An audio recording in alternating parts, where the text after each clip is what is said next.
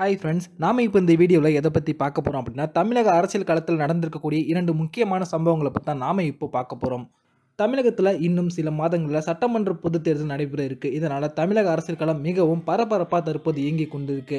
தேர்தல் நெருங்குவதன் காரணத்தினால கட்சி மாறுவது தற்போது சகஜமாகிவிட்டது. கூட்டணி அறிவிக்கப்படாத நிலைமையில் முக்கியத்துவம் தரப்படுவதில்லை. வேறு கட்சிக்கு சென்றால் முக்கியத்துவம் கிடைக்கும் என்ற வகையில் தற்போது பலரும் கட்சியில் மாறி போய் இணைந்துக்கிட்டு இருந்திருக்காங்க. அதே போல் கட்சியினரும் மாற்று கட்சியில் செல்வாக்கு உள்ள நபரை ஈர்ப்பதற்கு தற்போது பல்வேறு முயற்சிகளை மேற்கொண்டிருக்காங்க. இந்த நிலைமையில தான் பாமகவின் மாநில இளம் பெண்கள் செயலாளரும் சைதாப்பேட்டை சட்டமன்ற தொகுதி தேர்தல் பொறுப்பாளருமான ஜூலி அப்படின்றவங்க தற்போது திமுகவில் வந்து இணைஞ்சிருக்காங்க.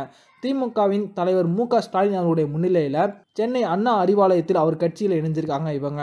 அப்போது சென்னை கிழக்கு மாவட்ட செயலர் சேகர் பாபு உள்ளிட்டோரும் முக்கியமான நிர்வாகிகளும் அவங்க கூட உடன் இருந்திருக்காங்க தற்போது மாநில பொறுப்பில் இருக்கக்கூடிய மா பாமகவை சேர்ந்த முக்கியமான புள்ளி ஒருவரே ஸ்டாலின் அவர்களுடைய முன்னிலையில் திமுகவில் போய் இணைந்திருப்பது தற்போது அதிமுகவுக்கும் பாமகவுக்கும் பெரிய ஒரு அதிர்ச்சி ஏற்படுத்தியிருக்கு. அடுத்ததாக இரண்டாவது விஷயம் என்ன அப்படின்னு பார்த்தீங்கன்னா தற்போது வர இருக்கின்ற சட்டமன்ற தேர்தலுக்கு அதிமுக மற்றும் பாமக இவங்களுடைய கூட்டணி கிட்டத்தட்ட உறுதியாகி விட்டது அப்படின்னே சொல்லலாம். அதற்கு தற்போது நம்பக்கூடிய வகையில் தகவலும் வெளிவந்திருக்கு. அது பற்றின முழுமையான விவரத்தை பார்ப்போம். வன்னியர்களுக்கு கல்வி மற்றும் வேலை வாய்ப்பில் இருபது சதவீதம் தனி இடஒதுக்கீடு கோரி ராமதாஸ் கடந்த மூன்று மாதங்களாக போராட்டம் நடத்தி வராங்க.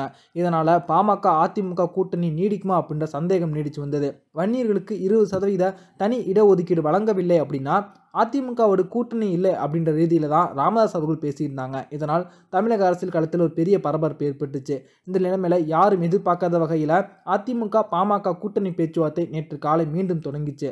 சென்னையில் உள்ள மின்சாரத்துறை அமைச்சர் தங்கமணி வீட்டில் அமைச்சர்கள் C V Shanmugam SP Velumani AIADMK துணை ஒருங்கிணைப்பாளர் கே பி முனிசாமி உள்ளிட்டோரோடு பாமக தலைவர் G K Mani A K Moorthy உள்ளிட்டோர் நேற்று பேச்சுவார்த்தை நடத்தினாங்க. வன்னியர்களுக்கான தனி இடஒதுக்கீடு பேச்சுவார்த்தை இது என்று பாமக தரப்பில் விளக்கம் அளிக்கப்பட்டது. ஆனால் தனி இடஒதுக்கீடு பேச்சுவார்த்தை ஏன் பாமக குழுவினர் அதிமுக நிர்வாகிகளோடு நடத்த வேண்டும் என்ற கேள்வி எழுந்தது. இதன் பின்னர் வெளியான தகவலின்படி நடைபெற்றது கூட்டணி பேச்சுவார்த்தை தான் என்பது உறுதியாகியிருக்கு. வன்னியர்களுக்கு கல்வி வேலைவாய்ப்பில் தனி இடஒதுக்கீடு விவகாரத்தில் முதற்கட்டமாக சில வாக்குறுதிகளை முதலமைச்சர் எடப்பாடி பழனிசாமி பாமக நிறுவனர் ராமதாஸ் அவர்களுக்கு கொடுத்திருக்காங்க. இதனை ஏற்றுக்கொள்ளும்படி இருந்ததன் காரணத்தினால்தான் தற்போது கூட்டணி பேச்சுவார்த்தைக்கு ராமதாஸ் அவர்கள் இறங்கி வந்ததாகவும் சொல்கிறாங்க. வருகின்ற பதினாலாம் தேதி பிரதமர் மோடி தமிழகத்துக்கு வர இருக்காங்க. அதற்குள்ளதாக அதிமுகவின் கூட்டணியை உறுதி செய்ய வேண்டும் அப்படின்னு எடப்பாடி பழனிசாமி அவர்கள் திட்டம் நடத்தி தான் இந்த ஒரு பேச்சுவார்த்தையை அவங்க துவக்கியிருக்காங்க.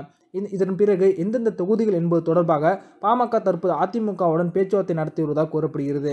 இதிலும் ஓரிரு நாட்களில் முடிவு செய்யப்படும் அப்படின்னு சொல்லப்படுகிறது. இதன் காரணத்தினால ராமதாஸ் அவர்கள் விழுப்புரத்திலிருந்து சென்னை புறப்பட்டு வந்து தொகுதி பங்கீடு தொடர்பான பேச்சுவார்த்தை ஆரம்பிச்சிருக்காங்களாம். இதன் காரணத்தினால தனித்து நின்று போட்டியிட்டால் வாக்குகளை மட்டுமே பிரிக்க முடியும். பெரிய அளவில் பாதிப்பை ஏற்படுத்த முடியாது அப்படின்னு உணர்ந்து கொண்ட ராமதாஸ் அவர்கள் தற்போது அவங்க கோரிக்கைகளிலிருந்து இறங்கி வந்திருக்காங்க அப்படின்னு சொல்லப்படுகிறது. இதனால் வர இருக்கின்ற சட்டமன்ற தேர்தலில் அதிமுக பாமகவின் கூட்டணி கிட்டத்தட்ட உறுதியாகிவிட்டது.